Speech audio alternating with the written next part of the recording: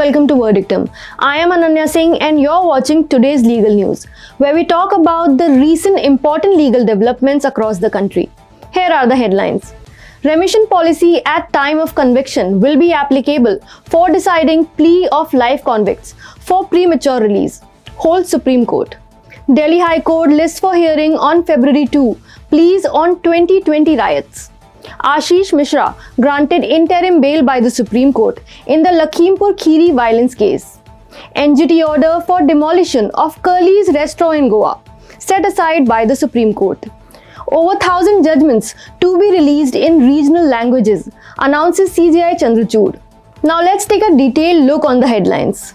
The policy of a state government for grant of remission existent at the time of conviction will be applicable while deciding the petition of a convict sentenced to life imprisonment seeking premature release, the Supreme Court ruled.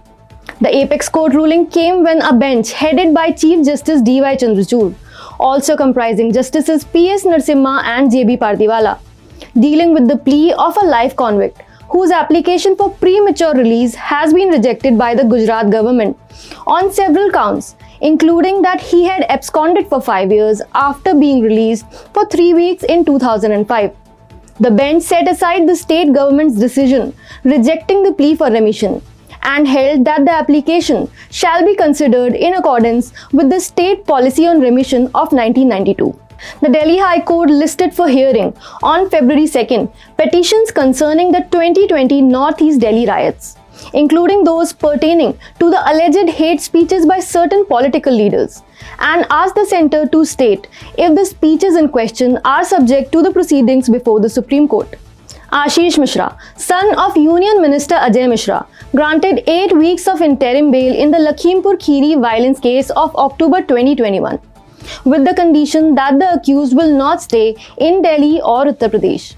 A bench comprising Justices Surya Kant and J.K. Maheshwari kept the regular bail application filed by Mishra pending and granted him interim bail, noting that a balancing approach was necessary to balance the right to personal liberty and ensure the fair trial.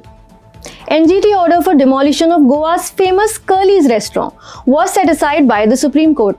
The restaurant came in the spotlight in August 2022 after BJP leader Sonali Phogat was found dead there after allegedly being drugged.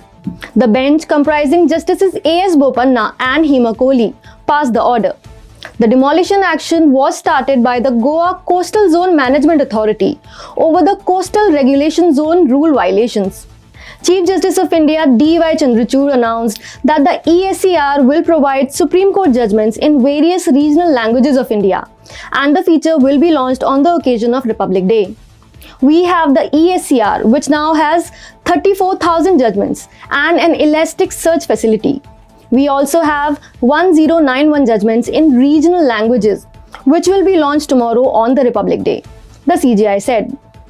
He has earlier said that technology has become a powerful tool in the legal system for improving efficiency, accessibility, and accuracy in the administration of justice. Thank you and keep watching Verdictum and subscribe to our channel and download our app on iOS and Android to keep yourself updated with all legal news.